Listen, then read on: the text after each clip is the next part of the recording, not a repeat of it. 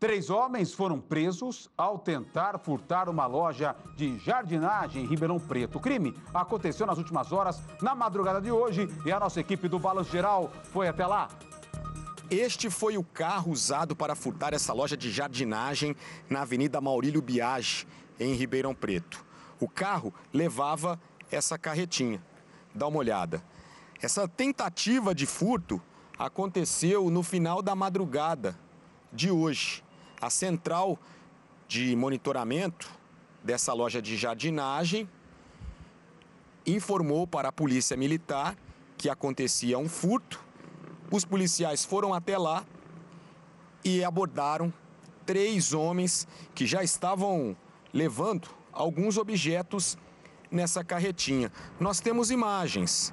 Olha só, eles já levavam uma serra latas de refrigerante, caixas registradoras, um notebook, 100 metros de fio, mas a polícia chegou bem na hora e os três homens foram presos.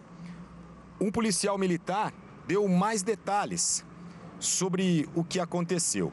Vamos acompanhar a entrevista agora.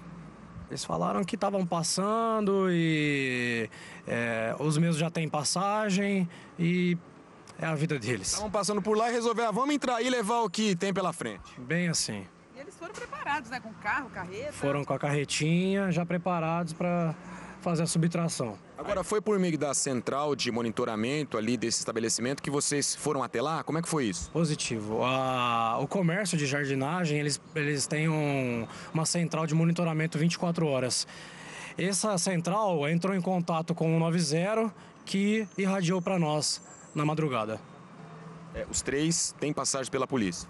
Apenas um não tem. Os outros dois têm passagens de tráfico, receptação e furto. Agora estão aqui à disposição aí da, da justiça. Exatamente. Agora o delegado de plantão está elaborando a, a, ocorrência de furto qualificado e provavelmente vão ficar à disposição da justiça.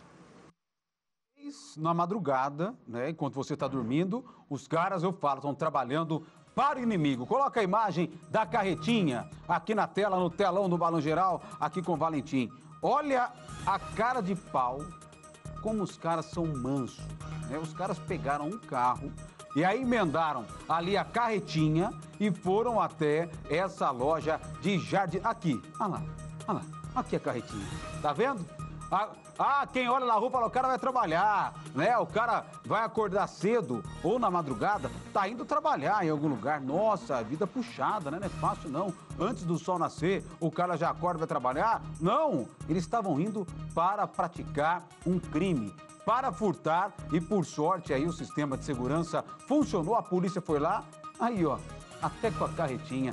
Eita nós, é cada uma aqui vale duas que eu conto para você aqui no Balanço Geral.